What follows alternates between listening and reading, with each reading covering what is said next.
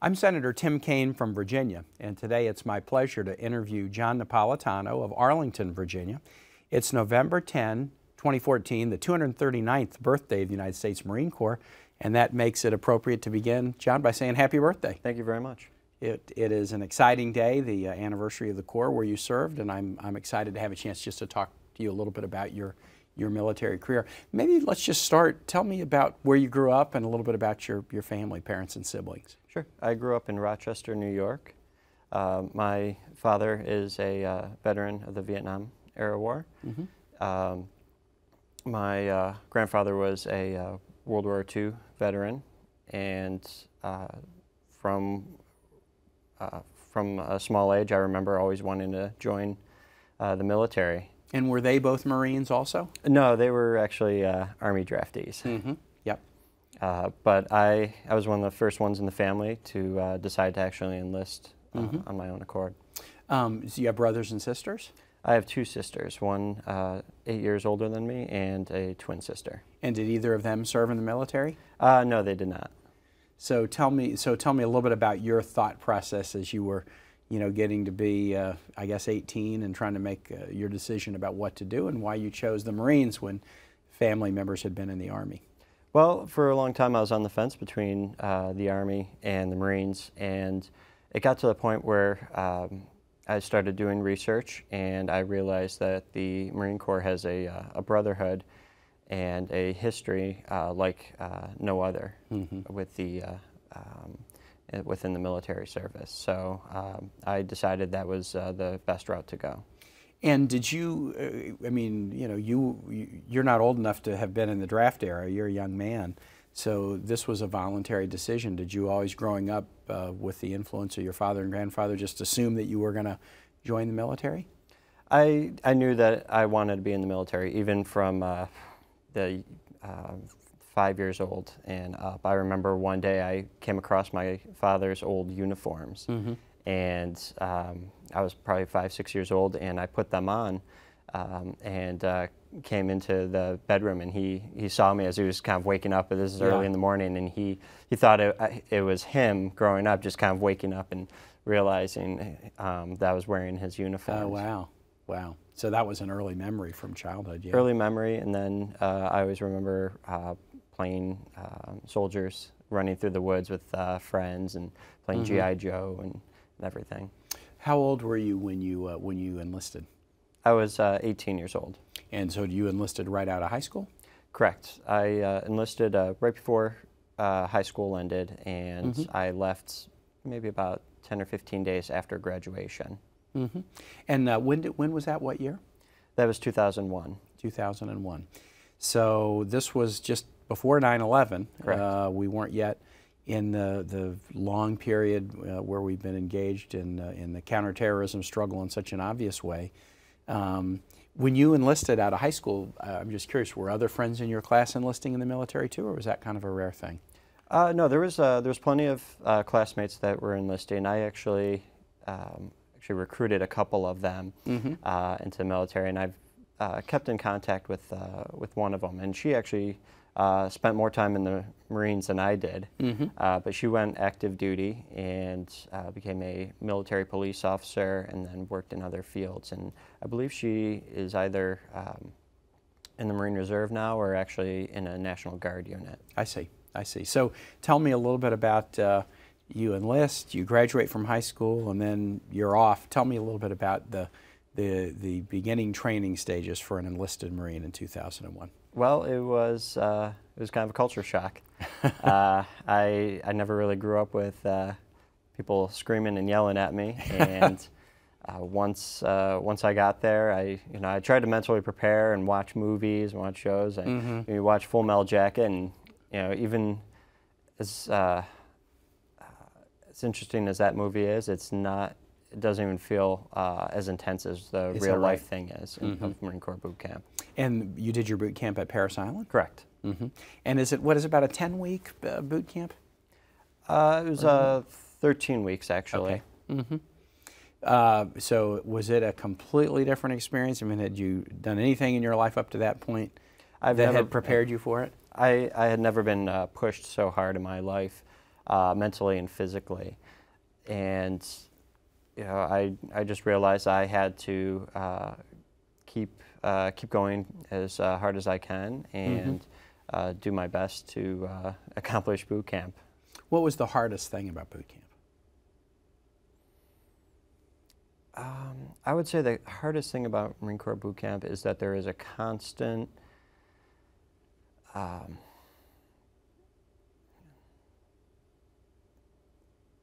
Uh, the hardest thing about Marine Corps boot camp is the constant control Mm-hmm. uh, that your drill instructors have over you and everyone else Mm-hmm. uh, in your platoon.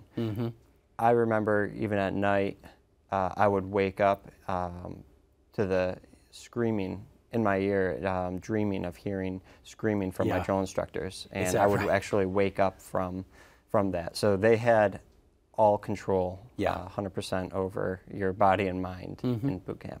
Who is the drill instructor you remember the most from your, your boot camp time?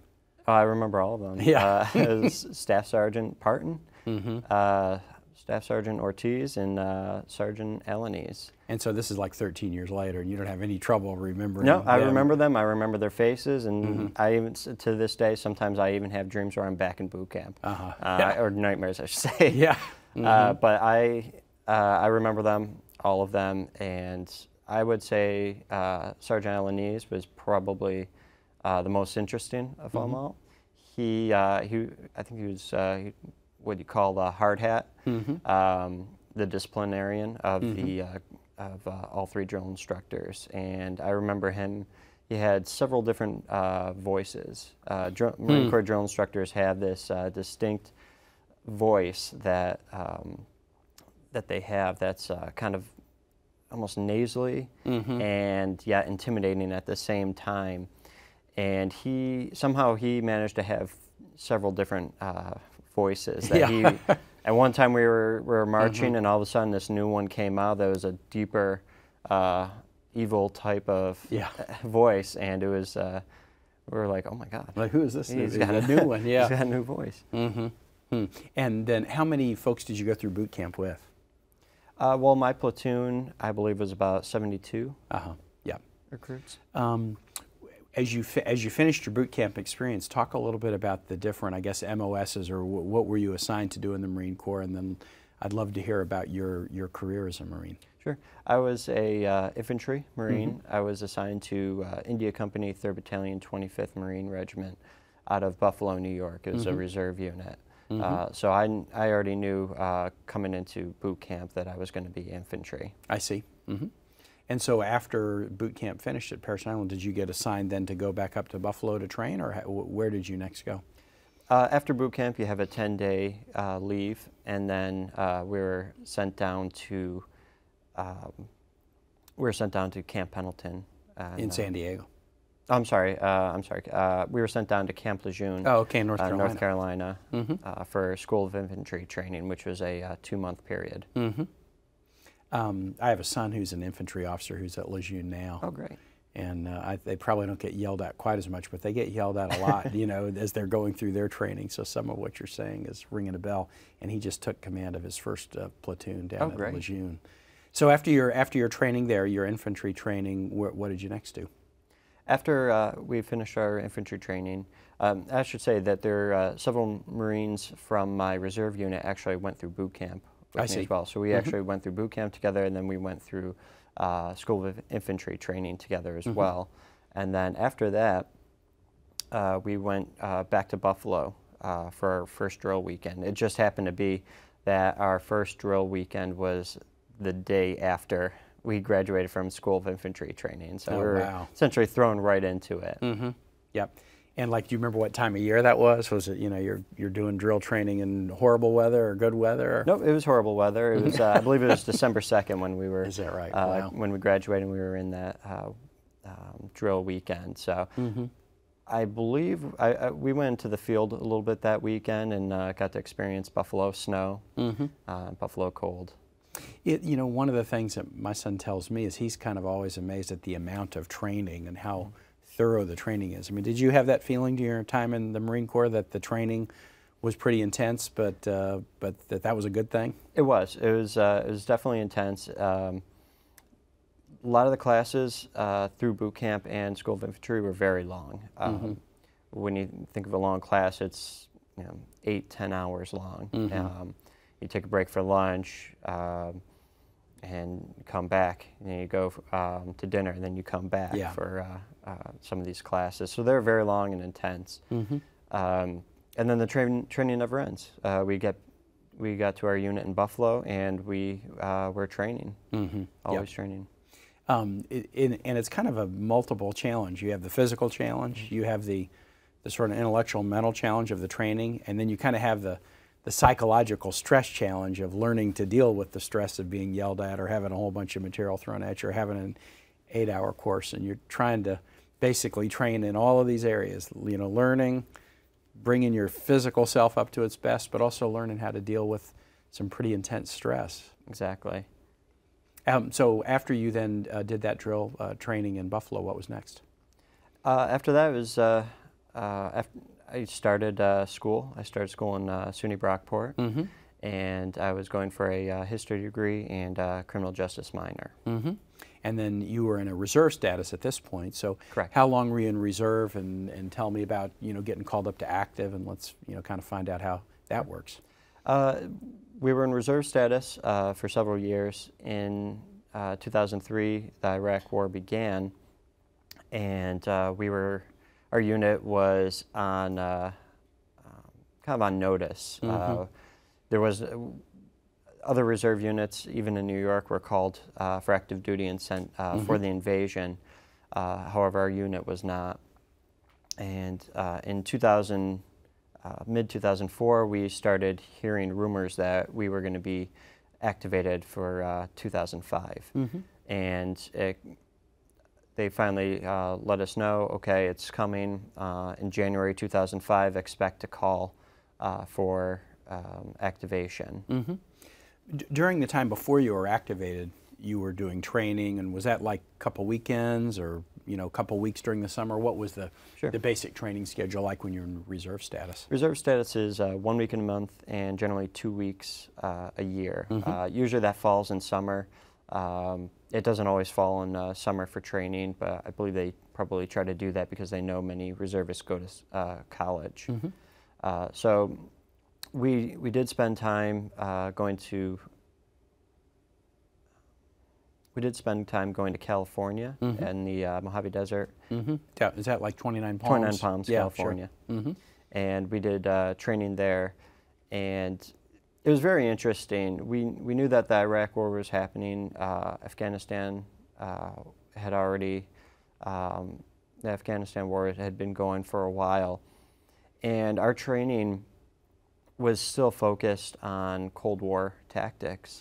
Our units go get online Yeah. and we push and then we attack uh, the uh, set up uh, pop up uh, dummies that they had set up on, on the fields Yeah. of uh, the desert. So it was very interesting, and some of us kind of wondered why are we doing this when um, you know fighting is shifting to more urban status. Mm-hmm. And it wasn't until we uh, went back to 29 Palms for our uh, two-month workup uh, to go before we went to Iraq uh, that we started concentrating more on urban uh, fighting and urban urban con- combat tactics. Now, did you, so you, about January of 05, you were notified, okay, you, you, the unit will be activated, and was that the point where you went back to 29 Palms to do more of the, the two-month workup? That's correct. Uh, January, we uh, reserved, received our orders for uh, activation, and we decided. I'm sorry. Um, in January, we received our orders for activation, and uh, shortly after, we uh, were flown to 29 Palms, California, uh, for our uh, two-month workup. And here we concentrated on urban, uh, urban combat training. They had set up uh, several, uh, like a little town with um, uh, shipping containers stacked yeah, on top of yeah, each I've seen, other. I've seen these, right, sure. And uh, that was uh, that was really good training. We learned how to clear uh, buildings. We did force on force with other uh, platoons in our company, and uh, I believe one of our final training um, projects, we went to a, a, an abandoned Air Force base Mm-hmm. uh, somewhere else in California, and they used the uh, abandoned uh, officer housing Mm-hmm. units Hmm. as a uh, essentially as a mock Iraqi town I see. with uh, several uh, many Marines, active duty Marines that had al- already been through Iraq um, and deployed there. They they were essentially our um, mock instructors. Some of them uh, played Iraqis, and we would have to search them. We would have to search vehicles. We would do uh, combat patrols. Um, one of the, I think one of the uh, most fun uh, training activities is we followed a uh, Abrams tank, and that Yep. was a good time. Yeah. um, and trying to stay away from Yeah, uh, right. uh, stay uh, stay away from the uh, exhaust behind it. But uh, it was a good time. They actually let us uh, uh, jump into the uh, crew cabin, Mm-hmm. uh, which is pretty cool. And so that um, now, when you say that you were doing this training, some of the force on force training with other platoons in your company, were the, were some of the other platoons reserve platoons, and some were active, and some were guard? Was it a mixture, or was or was this all reserve? Platoons This was all together? reserve unit. Our, our unit, uh, the battalion, uh, was activated. Mm-hmm. I uh, see, all altogether. together. And then all the companies went to 29 Palms together and Mm-hmm. trained. We, we generally trained uh, within our company and with our within our own platoons. Mm-hmm. Uh, but once we were sent to this one town in California, in this Air Force base, uh, the entire battalion was set in this town, and we would I see. uh, do combat uh, Altogether. training. When did then? When did you go to Iraq first? Uh, we reached Iraq in uh, March 2005. hmm And then how long were you there with your platoon? We were there till uh, late September. And let me jump ahead, kind of to the end. Um, was that your only deployment, or did you have other deployments? That was my only deployment. So March to September, so that was about a uh, six-month deployment. Mm-hmm. And was that kind of standard at the time? You know that the uh, that Army deployments in Iraq would be about six months long. Well, uh, Marine Corps. I'm sorry, uh, yeah. Marine. Yeah, I, obviously. so Marine Corps deployments uh, are roughly nine months long. okay, Uh, about two to three months of a training workup, I and see. then six months in country. Uh, I believe Army deployments at the time were uh, 18 month uh huh. uh, deployments, where they would, I believe they would have a six month workup and Yeah. then nine months A or whatever the or rest is uh, in country. Tell me, uh, where were you in Iraq during that uh, during the six months that you were there? When we were, when we first arrived, we were in uh, Al Asad Air Base, and we our That's the kind of main air base that's not too far from Baghdad, right? Correct. Mm-hmm. Uh, it's, I believe it's the largest air base in uh, at least uh, Anbar province. Yeah. Uh, we flew into Al Asad, and our company was tasked with uh, perimeter security uh, for several months. Uh, while there, we would uh, man the towers along the uh, perimeter fence line of the base, and uh, we also uh, helped build uh, fortifications at these uh, along the perimeter with uh, sandbags. So. That's an uh, that was probably one of the busiest airports in the world during that period of time. Exactly. We Yeah. saw fighter jets coming in and out all the time. Uh, the C-5 uh, cargo planes coming Mm-hmm. through. It was, it was pretty remarkable to see everything coming in and out. Yeah, yeah. I think I've landed there once in a maybe a C-130, but they were doing these corkscrew landing patterns where they would just kind of spiral down, and it was a it was a pretty intense landing experience. I'd never experienced one like it, but it was a busy, busy place. It was. It was very Um, so, and how long were you there, and then what did you ne- do next after you moved away from the airbase? I believe we were in the airbase for about three and a half, four months uh, doing perimeter security, Mm-hmm. and then uh, at one point we were sent on a uh, operation called Operation Riverwalk, Mm-hmm. which was meant to clear uh, the Euphrates River uh, shoreline of uh, any IEDs and uh, in search of any uh, ca- uh, weapons caches. hmm And just for folks who are listening to this, talk a little bit about the geography. So, is the Euphrates River Valley? Is it you know right in Baghdad or near Baghdad, or where where was this in the country? I'm trying to remember. Um, I, I actually cradle of so you can say civilization. anything, That's yeah. all I remember. Uh, the Euphrates uh, River. Um, Like, was it real far from the air base? I mean, was it a? I believe it was uh, probably a two-hour drive through convoy Mm-hmm. um, to the river, uh, but they had uh, they had uh, many issues uh, with uh, insurgents using the uh, the rivers, Mm-hmm. using um, uh, setting up uh, explosives, IEDs along uh, alongside the uh, the river, Mm-hmm. and uh, launching mortars and rockets from the river uh, towards uh, the air base and other um, forward operating bases that the military was operating at the time. And so that was the purpose of this mission was to try to remove that as a as a threat to whether it was the air base or other U.S. interests there. Exactly. Mhm. Uh, so our entire, uh, I believe our entire company was sent um, along this uh, river walk where we got online and we essentially just walked through looking for weapons cache, Mhm. uh, caches. Um, and that was really where we uh, f- first met um, Iraqis. Mhm. Uh, we actually uh, worked with uh, Iraqi soldiers for the first time Mhm. on this operation and uh, got to learn a little bit from them and who they were, Mhm. uh, what their motivations were. And then we also met some Iraqis along the way, uh, Mhm. Iraqi civilians. Mhm. Um, it was very interesting.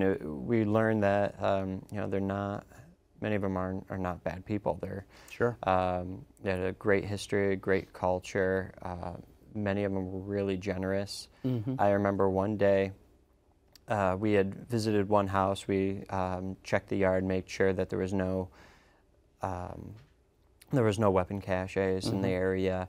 Um, interviewed their uh, the father. Mhm. Um, and uh, talked to some of the children. We would give out candy Yeah. and some of the MRE scraps that we didn't want Yeah. to the kids and the Mhm. families. And I remember we uh, had to set up uh, our bivouac for the night, and our um, this uh, Iraqi family started chasing our squad down with bread and apples to give to us. Is so, that right? Wow. so gracious uh, that we were there. Wow. Um, and I, I just remember how you know how interesting and amazing it was to Mhm. uh, to um, hear you know learn from these people and, and have a chance to uh, meet them. hmm How how long was this particular operation? Was it a week, a couple weeks, or It was uh, it was uh, I believe it was six or seven days Mhm. um, long. and setting up different camps each night as you're moving along the river valley? Exactly. Mhm. Um, we would just uh, pretty much set up a tent for the uh, command post, and then uh, all the Marines just sleep outside. Sleep on the ground. sleep on the ground. hmm How, w- during the time you were doing the, um, the uh, security at the air base, were you ever under fire, under attack, or, or no? Uh, I, don't, I don't believe we ever took any small arms fire. Mhm. Um, at least not not any uh, uh, posts that I was at. Yeah. Uh, but there were several times that we did receive uh, rockets Mhm. and uh, mortars. Mm-hmm. And uh, I remember one night uh, we started receiving, I believe, mortar fire, maybe, maybe it was rocket fire, and one rocket hit probably about 200 meters away from my Mm-hmm. um, from my uh, tower that I Mhm, was mm. in, and that was kind of a wake up call. Yeah, Uh, you wow. know, things and are do you, real. and do you and when when something like that happens, I mean, do you have a lot of advance notice? I mean, do you see it? Do you hear it? I mean, it's at night, so sometimes we can. I believe I remember seeing sometimes the streaks yeah. of Mhm. uh, the rockets firing in the distance, and you could see them, and then they start coming in, Yeah. and the uh, air raid sirens uh, start coming on.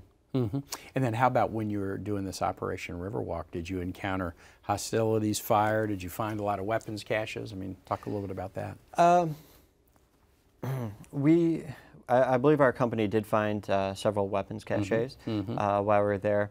There was one night where uh, my squad was tasked for, to do a uh, um, night patrol uh, Mhm. while the rest of the uh, company slept. So we were doing a just a security patrol around the perimeter, Mhm. and we were uh, walking along the river, and we actually heard a couple of motorboats from the other side of the river uh, coming across very slowly uh, to our shoreline. Hmm. And you couldn't see them. You could you could hear them before you saw them. We could hear them. Um, Mhm. I don't believe I had uh, night vision goggles at the time. Mhm. Um, I was a uh, machine gunner, Mhm. and I didn't have any uh, the night vision goggles. Or, you know, with the Marine Corps, it's it's always spare parts Yeah. uh, with everything. But Mhm. um, several several of the uh, members of our squad had a uh, had night vision goggles, so they were training in. Our uh, sergeant put us uh, in a um, position um, Mhm.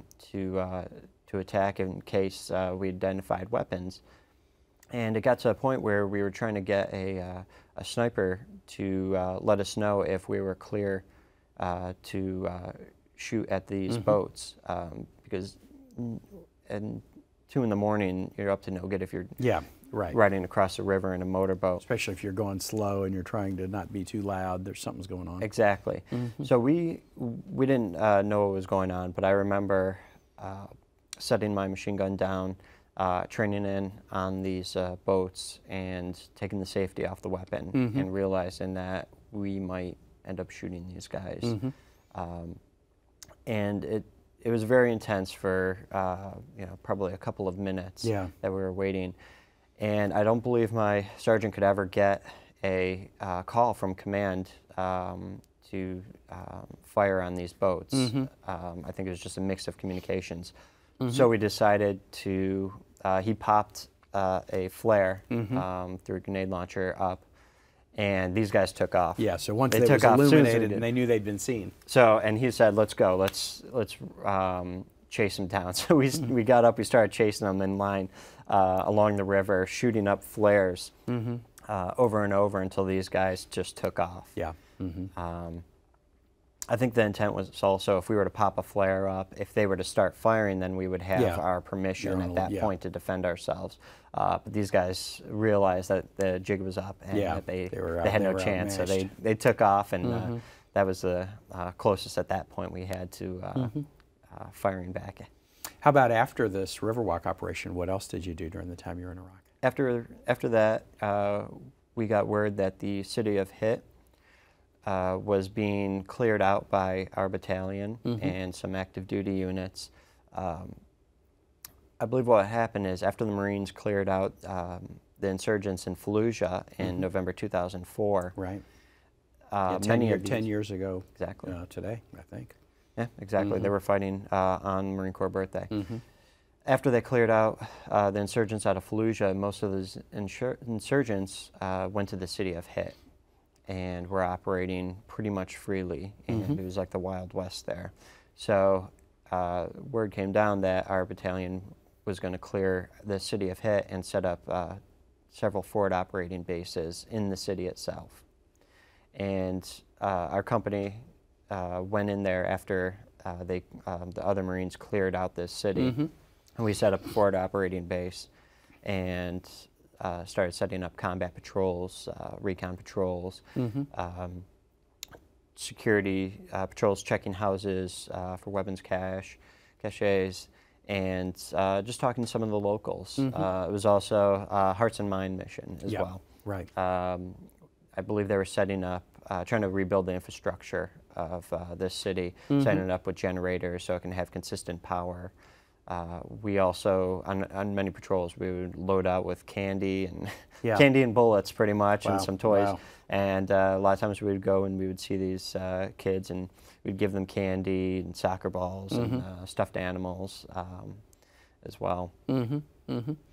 And how long were you in the in the city? We were in uh, the city of Hit for, uh, I believe, two months, two and a half months. Mm-hmm. And uh, here's, uh, in the city is actually when um, we were involved in actual uh, combat and uh, several firefights. Mm-hmm. And tell me tell me a little bit about those. I mean, Sure. was it they tended to be kind of at night, or how would how would they happen?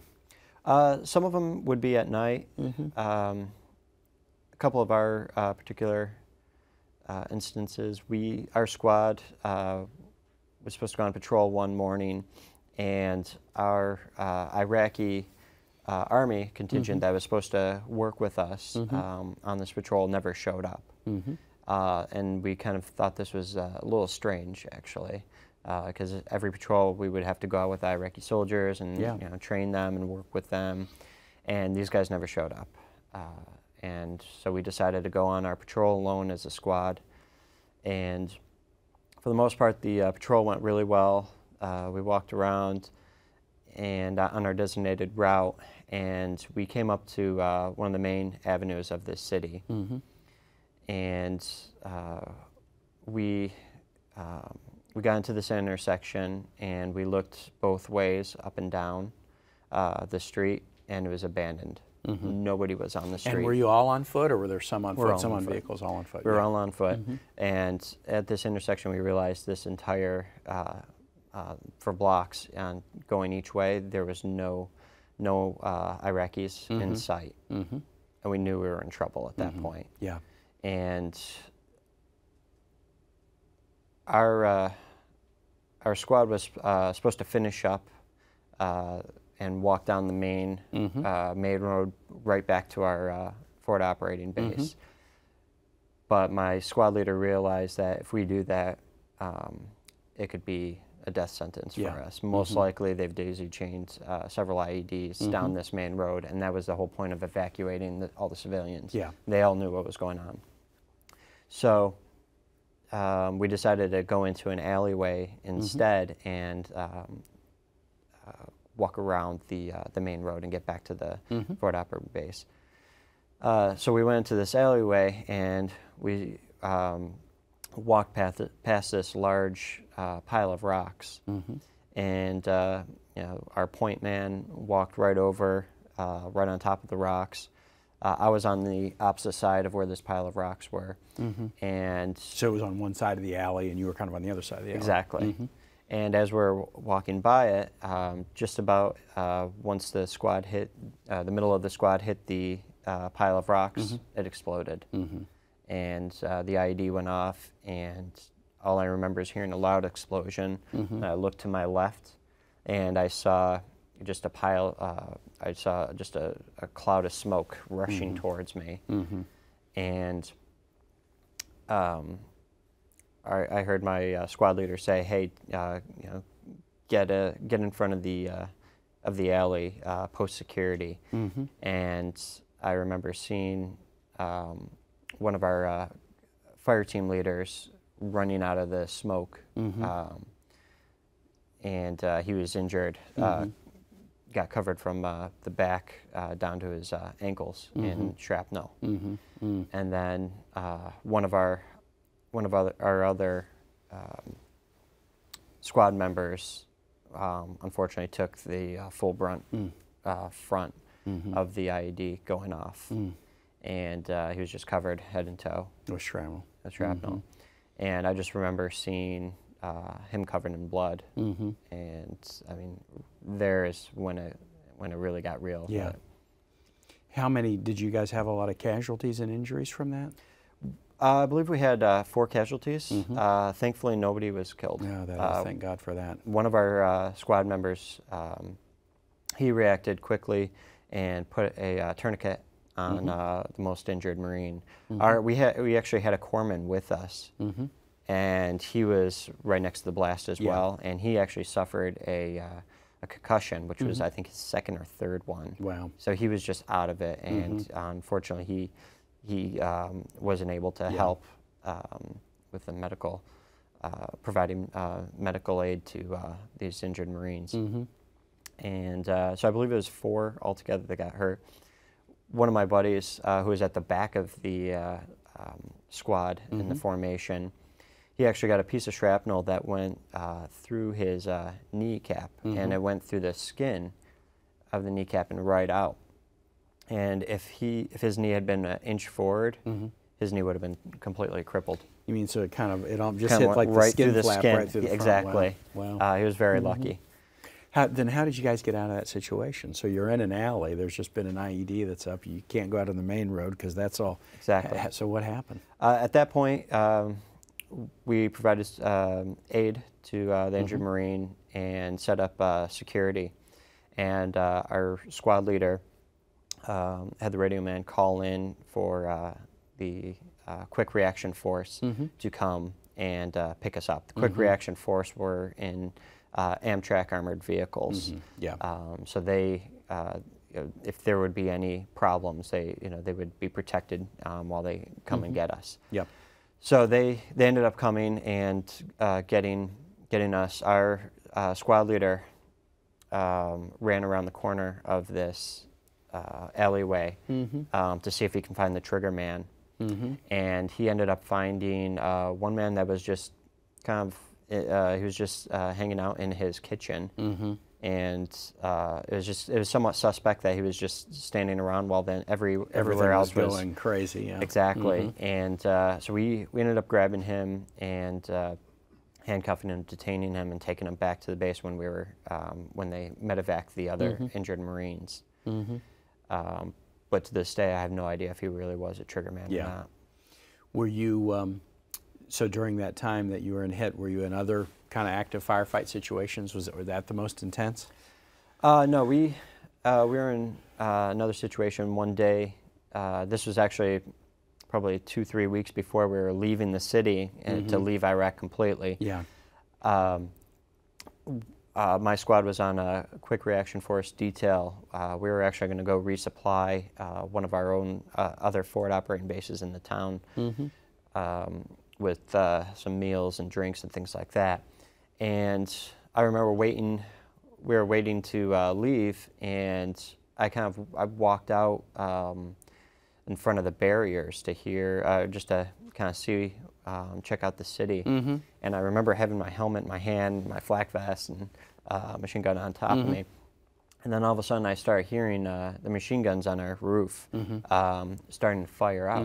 Like, uh, so I went out. I went beyond the barriers. I'm looking around, like, what's going on? We, you know, sometimes we um, we would fire at um, you know some fixed positions. Um, Outside of the city uh, for training purposes, Yeah. we would set up like an old truck or something Yeah. like that and Way shoot out. at. Exactly. So I figured, okay, well, maybe they're doing that. Um, so I'm looking out and just kind of seeing what's going on. And I heard, uh, all of a sudden, I started hearing the distinct sound of the uh, coming in. incoming bullets, uh, machine guns, everything coming at them. And then I realized, oh, I'm being shot. Yeah. at.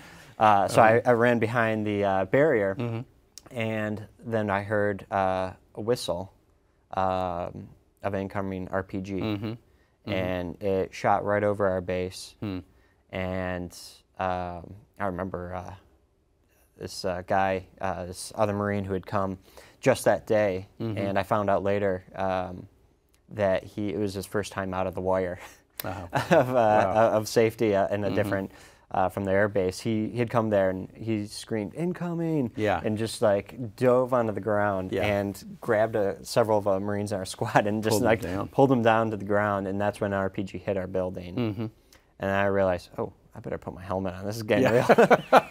so threw my helmet on, and I hear my sergeant say, "Get up to the roof." Yeah. Mm-hmm. Uh, it was a flat rooftop where we had our um, had the Marines up there uh, providing uh, fortified security.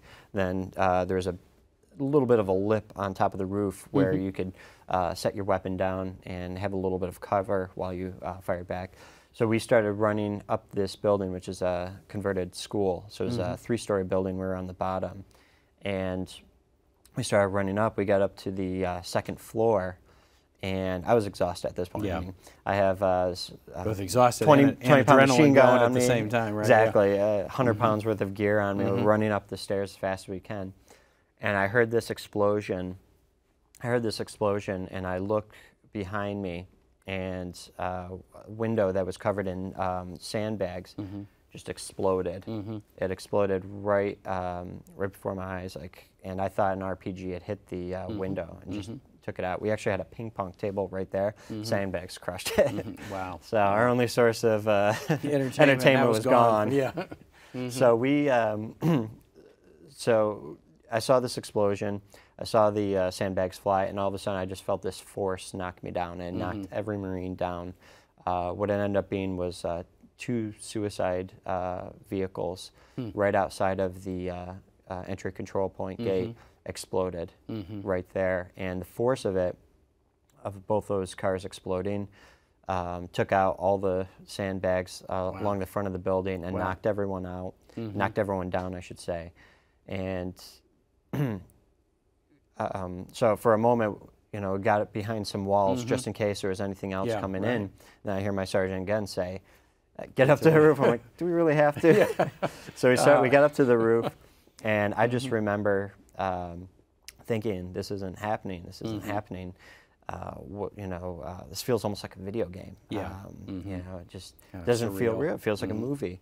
And I was wondering, is there anyone left alive on top of the roof? And we get up uh, through the door, and I just think, like, am I going to get shot What by you- a stray what do you- bullet coming through this open Right, door? right. And it's just a cloud of smoke on you the roof. even tell Don't even there. know, yeah, who's there, what's left. And we uh, we get past the cloud of smoke. We get to um, the edge of the roof, Mm-hmm. and we just start uh, laying down suppressive fire. And this was a huge coordinated attack. Mm-hmm. And um, what we found out earlier, uh, later, uh, what we found out later was that uh, this was essentially just uh, insurgents that kind of uh, roamed um, roamed through Iraq and attacked towns. Ah, I see. Like a traveling circus of uh, So it wasn't even just Hit-based people. They were just com- coming. They were coming through. Yeah. We had um, RPGs, rockets, mortars, um, machine guns, uh, small arms firing at us. People were driving by, Mm-hmm. um, shooting out the windows of their cars Yeah. at us from all angles. Mm-hmm. And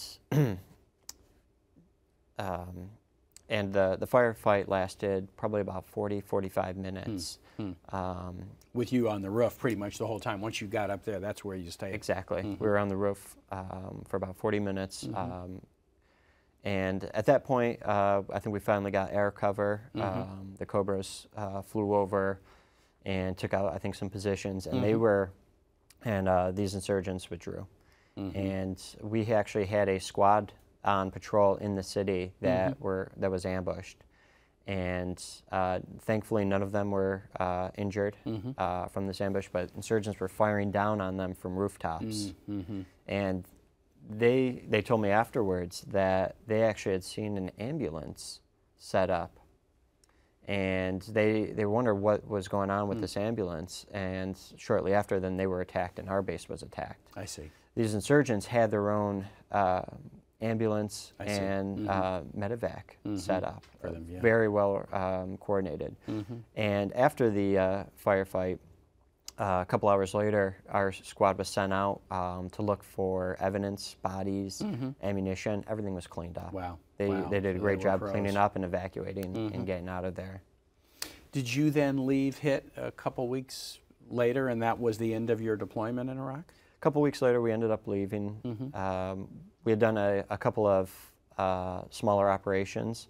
Uh, there were a couple of large, uh, tall uh, apartment buildings, Mm-hmm. Pretty much right across from our uh, base, and they had been firing at us too at several Mm-hmm. points. Mm-hmm. So we did a uh, coordinate, co- uh, an operation uh, where uh, we set up security on one of the buildings, and then uh, Marines went through and cleared the other building that was um, uh, where most of the trouble was coming from, and they ended up finding large uh, weapon caches. So that meant when you left, the next guys who were following you at that base wouldn't be under the same jeopardy from those Exactly. positions. Yeah. Exactly.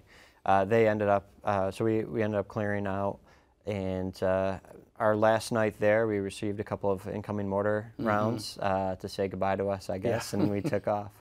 And when you took off, did you go back to the base, uh, the air base while, or did you come home? No, we went back to the air base for, uh, I believe it was about a week or so. Um, I think filling out paperwork, uh, taking your uh, post deployment Yeah. uh, classes, and then from there we uh, went to uh, Camp Lejeune. Mm-hmm.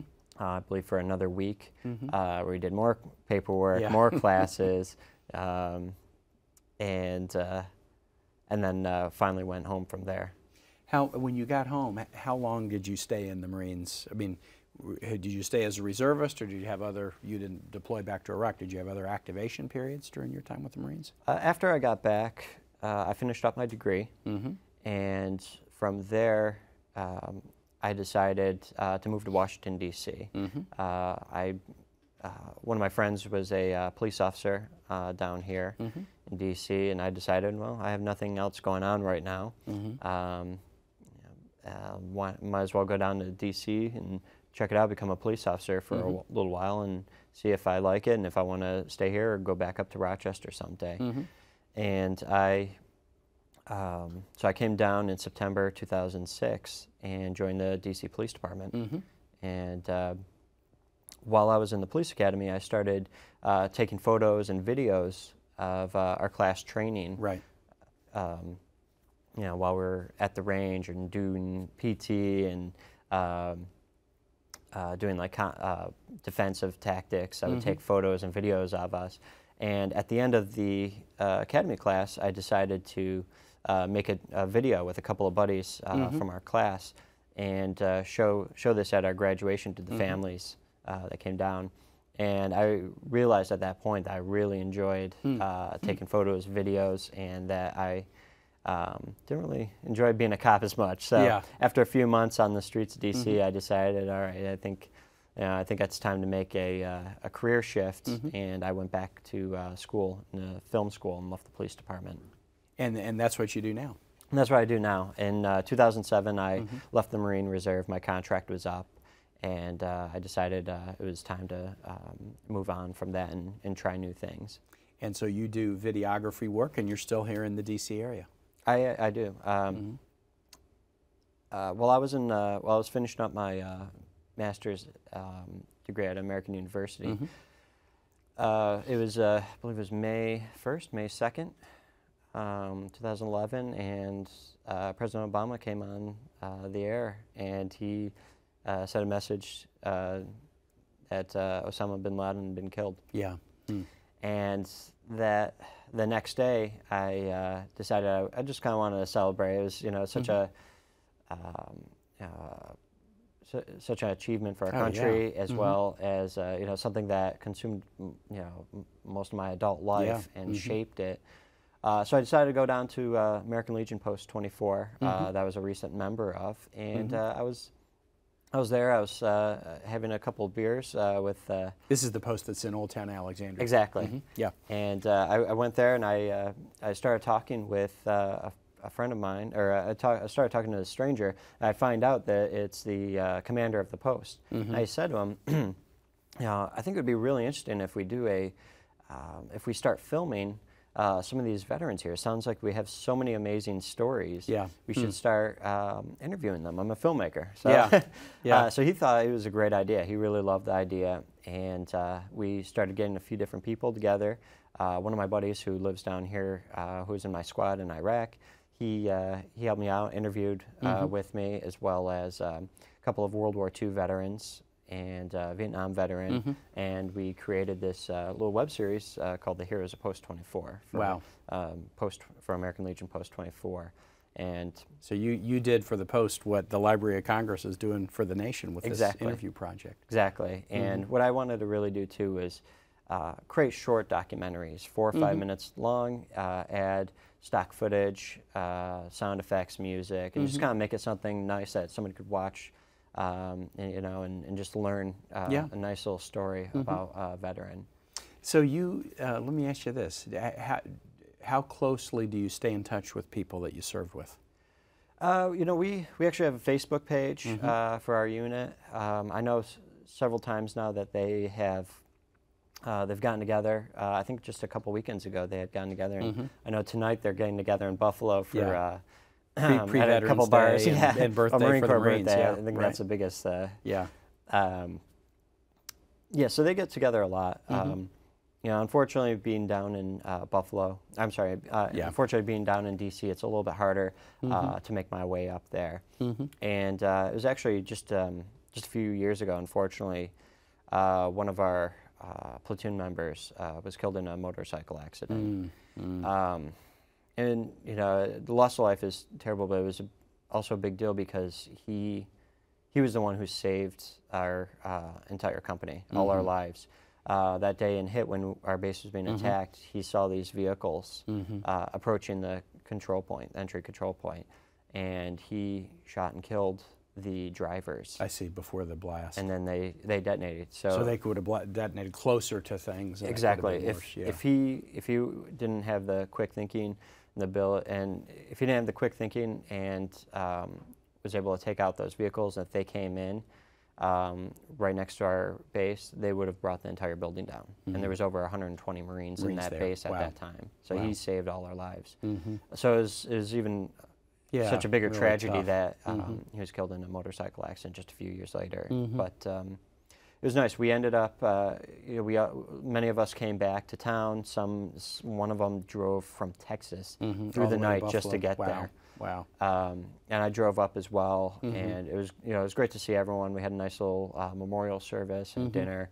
Um, seeing even my old commander, and and then joking with some of the other guys and everything, and you Mm-hmm. know it just felt like I don't know, just felt like things didn't change. You know, it just Mhm, yeah. felt like it was just uh, the same. You Back, know, hanging out with back these guys, together so- as if it were yesterday. exactly.